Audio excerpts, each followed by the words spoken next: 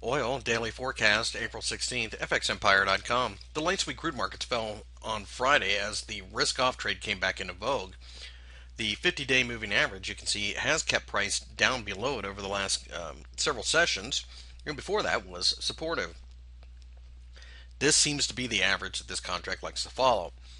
The market is going to be a tight one as the demand question is one that we are having to come to terms with.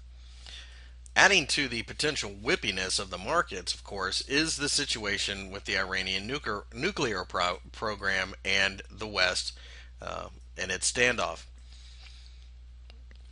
A break above the 50 day moving average would have us going long, as it would suggest the momentum is picking up um, for the bulls going forward.